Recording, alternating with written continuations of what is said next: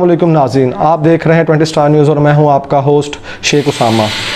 आज बात करते चलें तो पिछले प्रोग्राम में हमने एक बात की थी कम्युनिकेशन स्किल्स और कैसे अपने कम्युनिकेशन को इफ़ेक्टिव बना सकते हैं। आज हम उसके बारे में ही फर्दर आपको बताएँगे। देखें, हम जब किसी बंदे से बात करते हैं, किसी से कम्युनिकेट करते हैं तो आपने देखा होगा कि बहुत से मुख्तलिफ़ रुकावटें आपके सामने होती हैं। जैसे कि किसी किस्म की आवाज़ कोई जहनी प्रेशर तो उस वजह से आपकी कम्युनिकेशन सही नहीं हो पाती। तो इसके बारे में हम बात करेंगे कि कम्युनिकेशन में ऐसे कौन से बैरियर्स हैं जो कम्युनिकेशन को पूरा नहीं होने देती या उनमें रुकावट बनते हैं। तो सबसे पहले हम बात करते चलें, सबसे पहला जो बैरियर है वो हमारे पास है फ़िज़िकल बैरियर जिसमें आपकी आ जाती है नॉइज़ या दूसरे बंदे का फर्दर होना।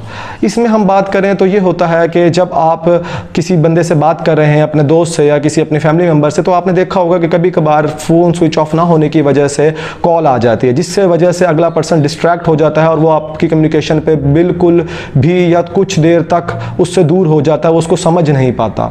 उसका जहन भटक जाता है, वो उसका जो, वो कॉल की वजह से डिस्ट्रैक्ट हो जाता है।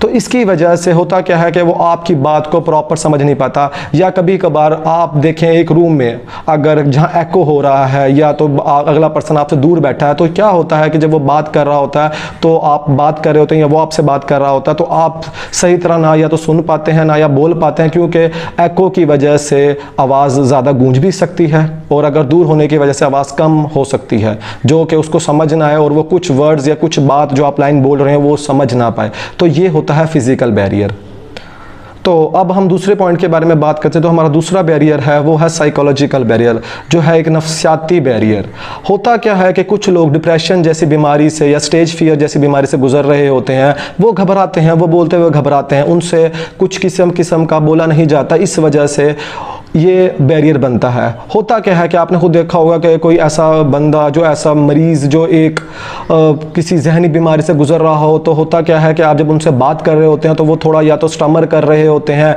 या वो परेशान हो रहे होते हैं। तो इसका मतलब ये होता है कि वो कम्युनिकेट प्रॉपरली नहीं कर सकते। तो ये भी एक किस्म का बैरियर है जिसको हम साइकोलॉजिकल बैरियर कहते हैं क्योंकि जो बंदा डिप्रेशन में होता है वो अपनी फीलिंग्स सही तरह कन्वे नहीं कर सकता। तीसरे पॉइंट की हम बात करें तो वो है emotional barrier emotional barrier barrier क्या होता है कि जज्बाती रुकावट। होता क्या है कि लोग खुशी, गमी, इंसान जो है, वो उस पर बहुत तरह के जज्बात होते हैं। कभी वो खुश होता है, कभी वो गुस्से होता है, कभी वो फ्रस्ट्रेट होता है। तो इस बारे में जब इस टाइम में आप उनसे कम्युनिकेट करेंगे तो होगा क्या, अगर वो खुश हैं तो वो एक आपको अच्छा रिप्लाई देंगे। अगर वो नाराज़ हैं तो वो एक टॉन्ट देंगे। तो इस वजह से भी आपकी जो कम्युनिकेशन है, उसमें कोई ना कोई रुकावट पैदा हो सकती है, जो अगला पर्सन है, आप उसे किस किस्म की बात करते हैं। अगर आप गम के उसके, अगर वो गम में है, ठीक है, उसके कोई गम के हालात है और आप उससे कोई खुशी की बात करें तो शायद की बात है वो उसको सही तरह समझ ना पाए, उसको वो टोंट लगे या उसको वो कोई ऐसी बात लगे कि यार नहीं, ये मेरे जो है फीलिंग्स के साथ मतलब मुझे फीलिंग्स को मेरी ख़राब कर रहा है या मेरी फीलिंग्स को हिट कर रहा है, मुझे ऑफेंड कर रहा है तो ऐसा वो सोच सकता है और उसको ये बात बुरी लग सकती है। इस वजह से आपकी कम्युनिकेशन भी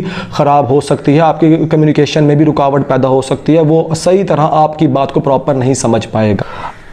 अब हम करते हैं चौथे पॉइंट की बात। जो हमारा चौथा पॉइंट है, वो है एटीट्यूड बैरियर एटीट्यूड बैरियर जो है, वो इस तरह का बैरियर है कि आपको समझना पड़ेगा। एटीट्यूड को बहुत से लोग ईगो की किस्म दे देते हैं। क्या ये ईगो है? दरअसल एटीट्यूड में सिर्फ़ ईगो ही नहीं होता। एटीट्यूड में आपका करेक्टर भी होता है, आपकी पर्सनैलिटी भी होती है। बहुत से लोग हमारे यहाँ एटीट्यूड को ईगो से जज करते हैं कि एटीट्यूड को ईगो कहते हैं, जबकि ये दोनों अलग टर्म्स है। एटीट्यूड एक अलग टर्म है ईगो एक अलग टर्म है।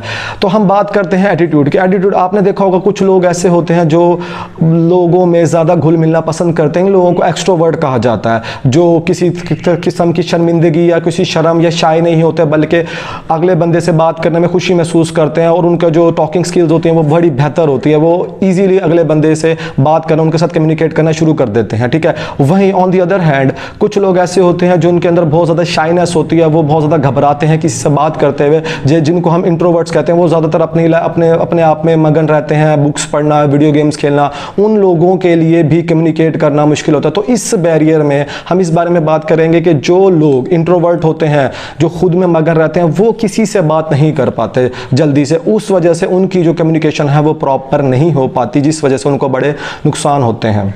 अब हम आखिरी बात करेंगे अपने पाँचवें टॉपिक पे, जो है लिंग्विस्टिक बैरियर्स यानी कि लसानी बैरियर होता क्या है कि जब आप एक स्कूल में पढ़ते हैं तो या किसी कॉलेज में होते हैं, किसी यूनिवर्सिटी तो बहुत तरह के अलग अलग किस्म के अलग अलग ज़ुबानों के लोग आपके पास होते हैं, यानी कि अलग अलग एरिया से बिलोंग करते होते हैं। इस वजह से उनकी जो कंफर्टेबल टंग होती है, वो अलग होती है। यानी कि कुछ लोग पंजाबी बोलने में ज़्यादा होशियार होते हैं, कुछ लोग सराइकी बोलने में उनको सराइकी ज़्यादा अच्छी बोलने आती है। तो इस वजह से ये चीज़ भी एक कम्युनिकेशन जो है बैरियर बनाती है, क्योंकि अब ऐसे एग्ज़ाम्पल ले लें कि अगर हम एक ऐसे एग्ज़ाम्पल लेते हैं कि हम, मैं जब जिस स्कूल में पढ़ता था, उस स्कूल में ज़्यादातर लोग पंजाबी बोलने वाले थे। मैं सिर्फ़ वही था जो ज़्यादा उर्दू बोला करता था, जिसको उर्दू समझा वो मुझसे कम्युनिकेट करते थे, मुझसे बात करते थे तो मुझे कुछ बातें तो ऐसी थी, बिल्कुल ऊपर से गुजर जाती थी, मुझे समझ ही नहीं आती थी कि यार ये इन्होंने क्या बात की है।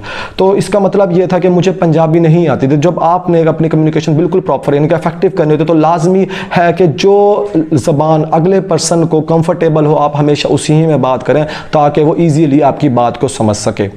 अपनी बात को ख़त्म करते हुए मैं कहना चाहूँगा कि एक ग्रेट फॉसोफर अरस्तु ने यह बात की थी कि इंसान जो है वो डिपेंडेंट है दूसरे इंसान पे। यानी कि एक इंसान अकेला सर्वाइव नहीं कर सकता, उसको किसी न किसी इंसान की चीज़ पे डिपेंड करना पड़ता है। अगर उसने ज़िंदगी गुजारनी है तो। इसलिए मैं ये मानता हूँ कि कम्युनिकेशन एक ऐसा एक्सपेक्ट है लाइफ का जिसके वजह से आप किसी दूसरे पर डिपेंड कर सकते हो और आप उससे मदद ले सकते हो या आप अपने अपना काम कर सकते हो, अपनी ज़िंदगी बेहतर बना सकते हो। बिना कम्युनिकेशन से आई थिंक दैट कि इट इज़ इम्पॉसिबल कि आप आगे अपनी ज़िंदगी गुजार सकें या आप अपनी ज़िंदगी को बेहतर कर सकें। आज के लिए इतना ही। मिलेंगे अगले प्रोग्राम में। अब जब तक के लिए अपना ख्याल रखिए। शुक्रिया। और कोई भी मसला हो या किसी किस्म का आप जो इन्फॉर्मेशन चाहिए हो किसी टॉपिक पर तो ज़रूर हमें कमेंट में बताएँ ताकि मैं उसको भी अच्छे से आपको लोगों को एक्सप्लेन कर सकूँ या उसमें थोड़ी थो, कुछ ना कुछ आपकी हेल्प कर सकूँ। तो लाजमी मुझे बताइएगा। तब तक के लिए अल्लाह हाफिज़। अपना ख्याल रखिए।